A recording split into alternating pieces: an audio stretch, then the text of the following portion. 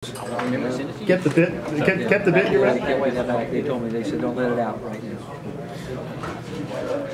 Can you tell us about that lap real quick? How, Well, go? you know what, after doing that lap, I'm really, truly am gonna start pushing that NASCAR has a senior division. And uh, I'm ready for it, uh, excited about it, and have unbelievable respect for those guys. I can't imagine 41 other cars being on the track, going a lot faster than I was going. What about the banks there? That, that was interesting? Yeah, that was nice, but I would have liked having a car with some roll bars in it, so if I want to get closer to that wall, I'd be protected. But it was fun. It was, it was, it was a great adrenaline rush. About 80 miles an hour or 90 or? Well, 120. no, I got it up. I know I got it up to 84, 85 on this one stretch here, there, and uh, but kind of let it off in, in the curve a little bit. But it was fun. It was a lot of fun.